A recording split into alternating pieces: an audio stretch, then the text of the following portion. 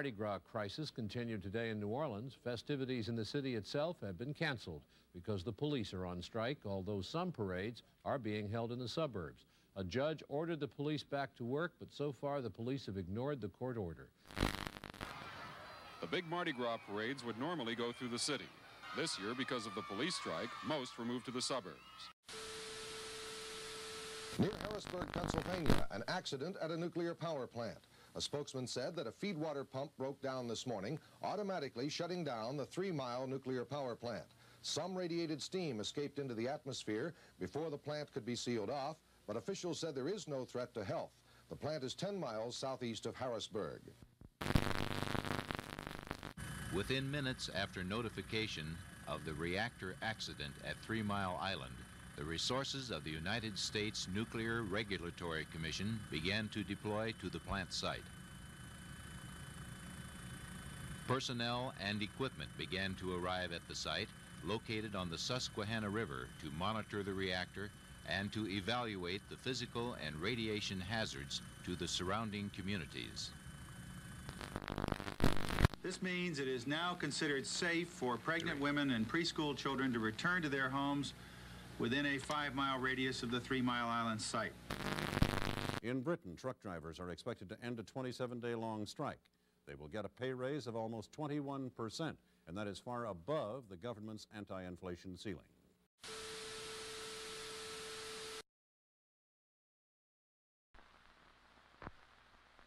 Thursdays after class, we usually go out to eat. Helen would always drink.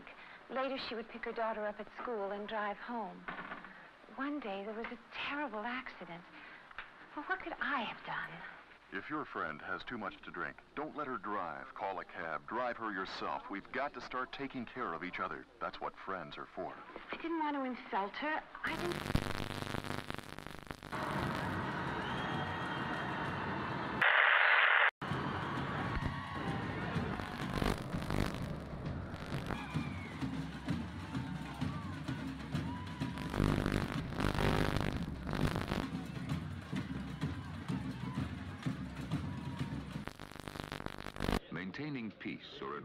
uneasy calm in the world, is the Security Council's raison d'etre and one of the United Nations functions. As a delegate once observed, The Security Council, Mr. President, is the most prestigious and authoritative of the organs of the United Nations. It is endowed by the Charter with the capacity to take mandatory decisions. But our esteem for this body derives not only from the binding character of its authority. We are endeared to the Council because of the In England, it's all over now except for the concession. The Conservative Party of Margaret Thatcher has won the most seats in Britain's Parliament, and Mrs. Thatcher is apparently to be the first woman Prime Minister in that country, and in all of Europe for that matter. James Callaghan's Labour government is out.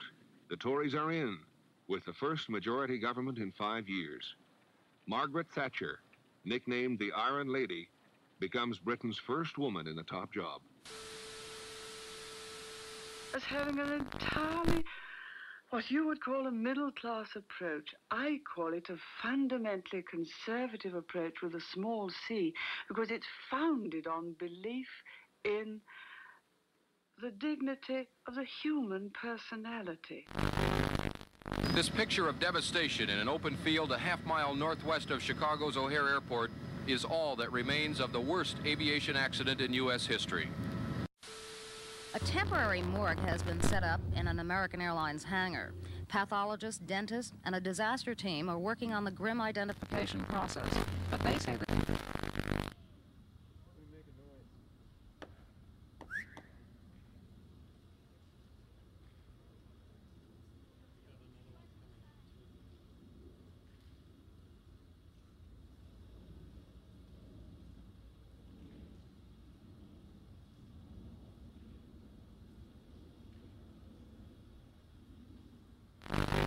SALT II, signed but never ratified, the embrace broken by the Soviet invasion of Afghanistan. A dummy in the front seat of a car going 30 miles an hour. Watch what happens when the car stops. Now the dummy's wearing a lap belt. With lap and shoulder belts. See the difference? I thought these films might help you decide what to do the next time you get in your car. Well, we know safety belts are a real headache, but look at it this way. Your headache could be...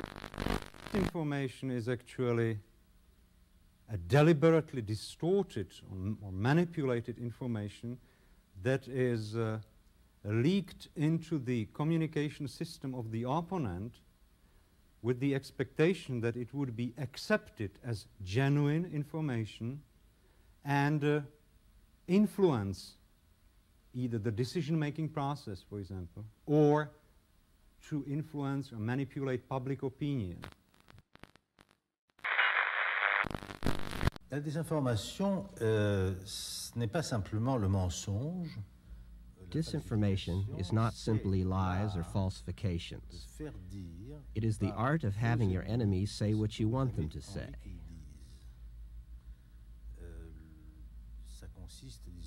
This consists in conditioning Western journalists by the USSR in such a way that in perfectly good faith, or sometimes for different reasons,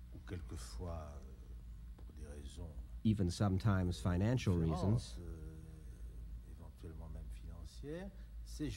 these journalists would write what the Soviet Union would like them to write. After which, TASS takes their text and says, You see, even the Western press is saying this. Active measures, and these go even further, consist in making up completely false documents which they try to have distributed as authentic Western documents.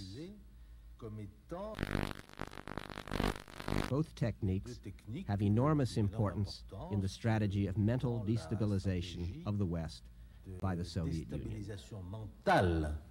de l'Occident par l'Union soviétique. At the moment, uh, the uh, Soviets are involved in uh, active measures, measures all over the world and practically in any country of the world. Uh, the number of operations uh, which they are running uh, can be counted only in thousands. After an hour and 10 minutes, Mr. Carter left the hospital wearing a figure eight harness to keep his shoulders erect and a sling on his left arm. Tonight, the White House said Mr. Carter had fractured his left collarbone and is taking medication for his considerable pain.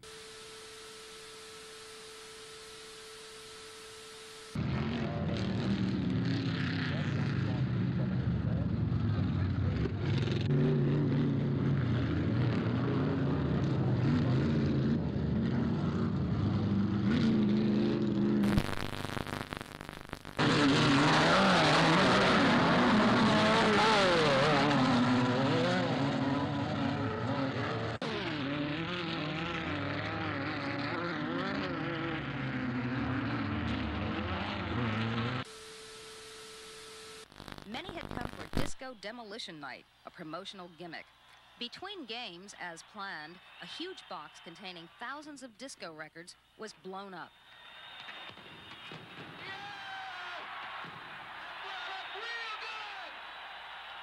The rest was unplanned. Fans stormed out onto the field in the thousands. Disco records were hurled like frisbees. Bonfires were set. Bottles were thrown. The batting cage was torn down and destroyed. Fistfights broke out. White Sox players had to be locked in their clubhouse for their own protection. The melee lasted an hour and a half and resulted in 39 arrests and a few minor injuries.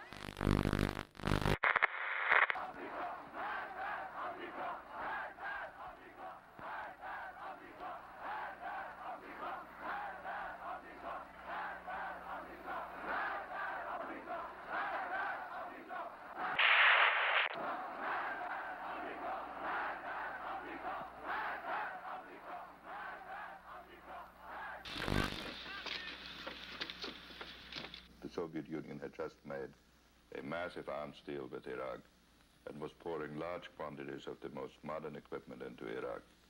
It already had an arms arrangement with Syria.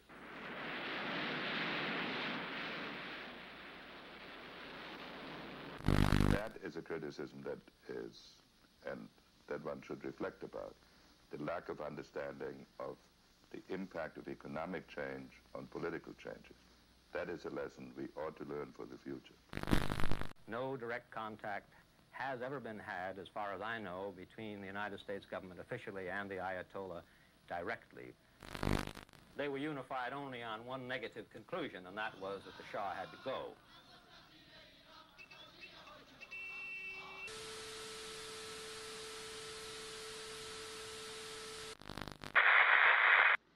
These machines not only verify the number of bills, but also detect any possible counterfeits. Many things can earmark a phony. Weight, color, size, or poor detail in artwork. Once identified, it is cataloged, then sent off to the Secret Service for investigation.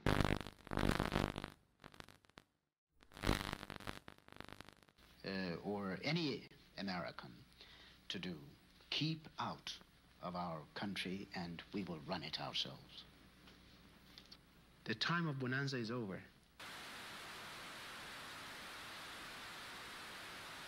Two relief wells are being drilled to divert the flow of oil and eventually shut it off. One relief well is less than 1,200 feet from its target. Oil officials say if it's successful, the world's biggest oil spill could be over in less than a month, whether the cone works or not.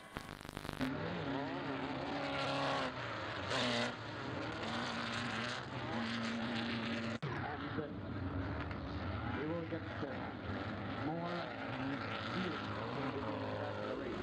Right now, this is the practice.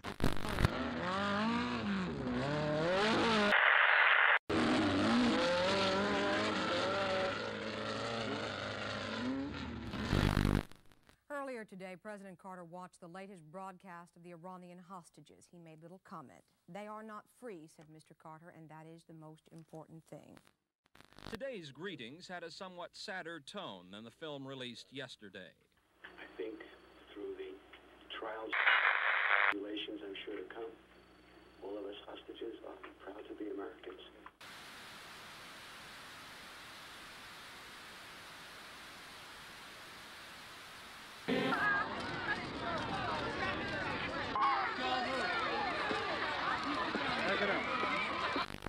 Sixty years of work by the Save the Children Fund. It must have seemed such a simple title in 1919 to our founder, Eglantine Jebb. It was a cry from the heart, which was answered with such enthusiasm and efficiency that in the following 60 years, the fund has never lost sight of the simple basic principles that Miss Jebb instilled to help the children of Eastern Europe after the First World War. Story out of Cincinnati this morning, a bizarre tragedy. 11 people killed when a rock concert crowd went out of control. A huge crowd waiting for general admission seats suddenly surged toward entrance doors, the people elbowing and kicking each other. Many were pushed under and the crowd stampeded over them. 11 died. A report by... It just went crazy. There was a girl in front of me. She fell down, and people were stamping on top of her and everything. And I was trying to help her up, and they were just hitting everybody and just trying to kill to get into the concert. Ladies and gentlemen, Ronald Reagan. Good evening. I'm here tonight to announce my intention to seek the Republican nomination for president. You know, someone once said that the difference between an American and any other kind of person is that an American lives in anticipation of the future because he knows it'll be a great place. Other people fear the future as just a repetition of and tragically, as the cost of living keeps going up, the standard of living, which has been our great pride, keeps going down. The people have not created this disaster in our economy. The federal government has. It has overspent, overestimated, and overregulated. It has failed to deliver services within the revenue it should be allowed. As president, I would use every power at my command to make the federal establishment respond to the will and the collective wishes of the people. We must force the entire federal bureaucracy to live in the real world of reduced spending, streamlined function, and accountability.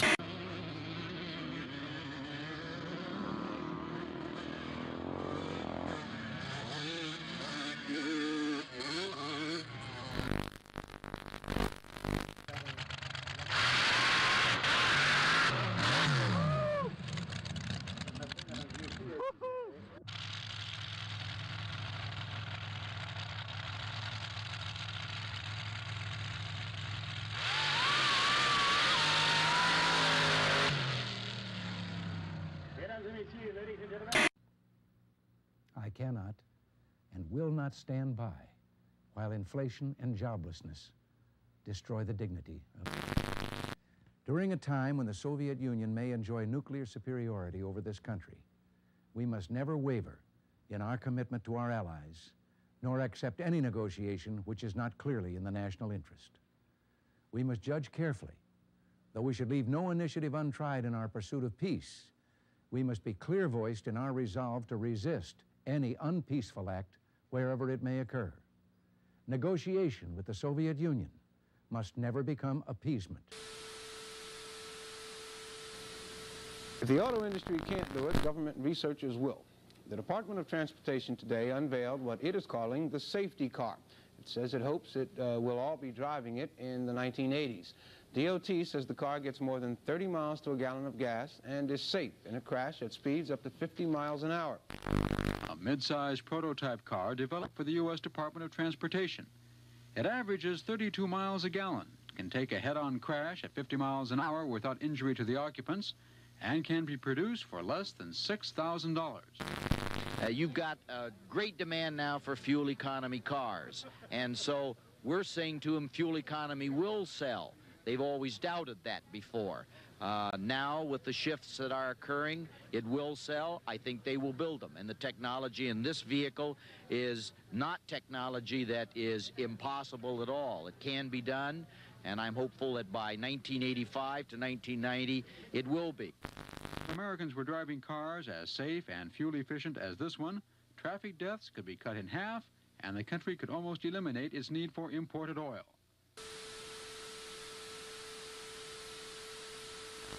Meanwhile, the Soviets not only ignored President Carter's withdrawal deadline yesterday, their invasion force is said to be growing.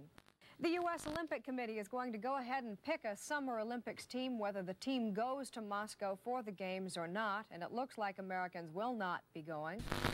I'd rather boycott the Olympics today than have to go to war against the Soviets tomorrow. As they rejected Mr. Carter's call for a boycott, the 16 Olympic committees also rejected an American and British proposal calling for a series of alternate games.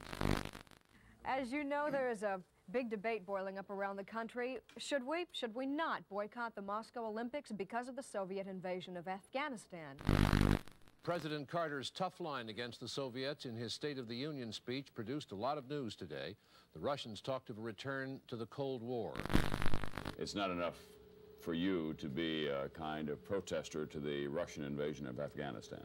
No, I, I have always felt that uh, politics should, political things should be keep, kept out of sports, and uh, I was very disappointed when they didn't this time.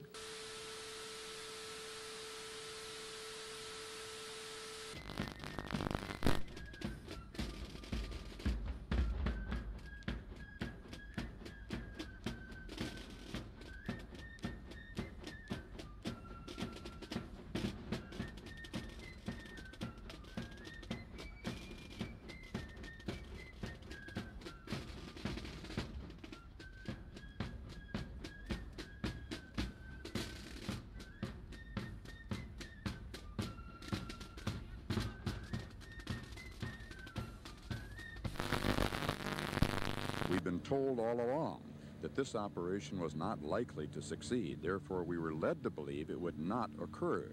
Uh, I think if they had talked with us, we would have consulted and advised them, as I did this weekend at a conference, not to undertake this kind of an operation because of the high risk involved and the risk of failure, which would be calamitous to us. At Arlington National Cemetery today, three American Air Force men who died on that raid were buried with full honors.